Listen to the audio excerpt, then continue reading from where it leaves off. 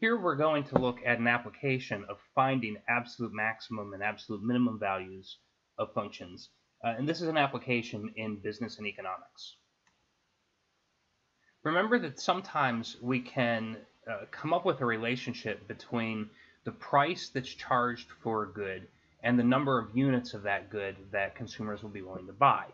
Uh, in this example, we have such a function, and remember that that's called a demand function for the product. So the demand function tells you the relationship between price and the quantity demanded.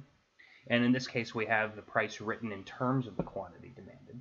And that's actually going to uh, make it a little bit easier for the problem we're going to work on here to find the maximum possible revenue.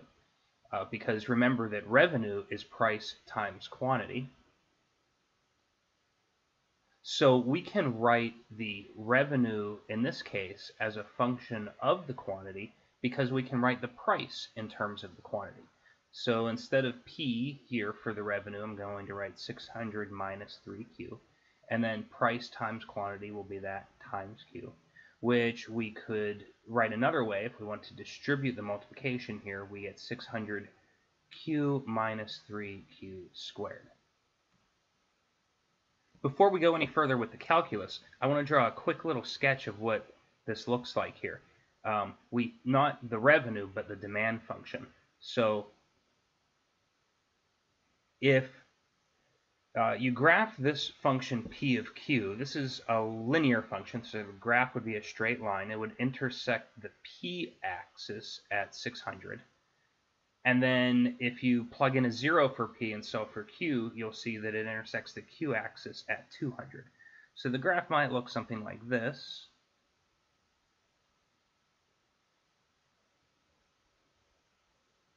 And what this graph is showing us is if uh, you want to sell more units, you have to decrease the price. And it looks like the maximum that anyone is going to be interested in paying is $200. If you charge more than that, no one's going to buy.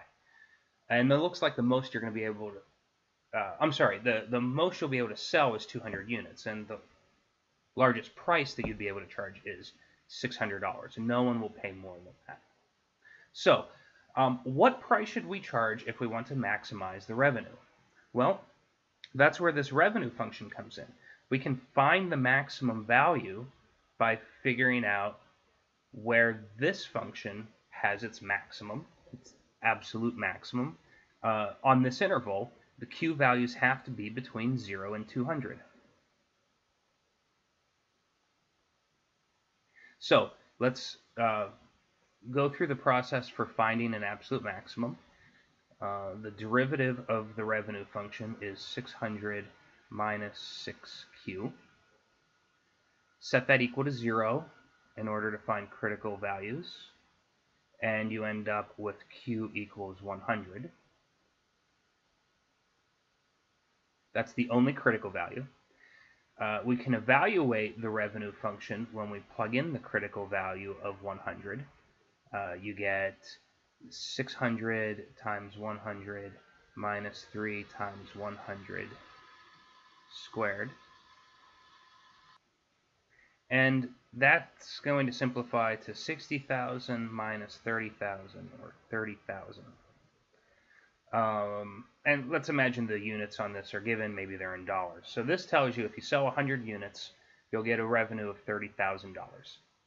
Uh, now, we're looking for an absolute maximum, so let's also check the endpoints.